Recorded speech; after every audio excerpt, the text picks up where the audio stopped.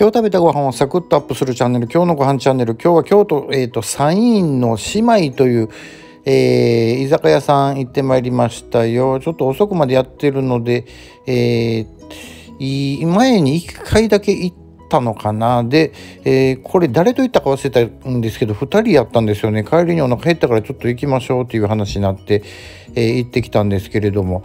えー、うどんをね食べに行ったんですよ。確かなんかなんか食べたいなと言うて。でそれだけだとちょっと申し訳ないので砂ずりとビールなんかを、ね、えー、と飲みましてですね。砂ずりもうまかったんですよねこれね。でやってまいりましたお目当ての、えー、酢うどんこれたまりませんよね。これ飲んだ帰りにこのしかもこの380円という非常にもう立ち食いうどんぐらいのレベルのあの値段の安さにちゃんとしたねなんかねもうなんか体にしびるんですよこのうどんが。ちゃんと座敷に座って食べられるっていうね。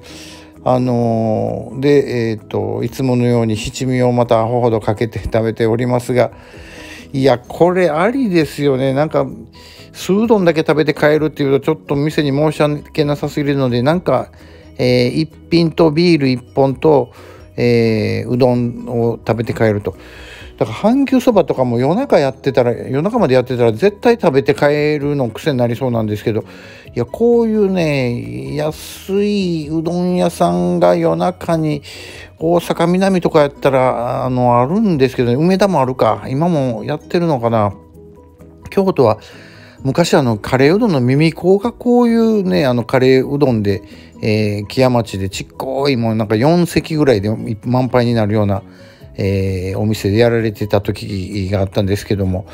えー、まあうどんもね締めに最高ですよねラーメンばっかりじゃなくてこういううどん屋できたいのにななんか将来的にこれやろうかな夜中に、えー、と思ったりしておりますあ G メンがあるか秋山町には。そうですね。まあ、そんなことで、えっ、ー、と、姉妹さんでございました。えー、今日食べたご飯をサクッとアップするチャンネル、今日のご飯チャンネル、チャンネル登録よろしければこちらでお願いします。毎朝7時にアップしております。いいねいただけるとありがたいので、ポチッと押しておいてくださいませ。それではまた明日朝7時にお会いいたしましょう。ありがとうございます。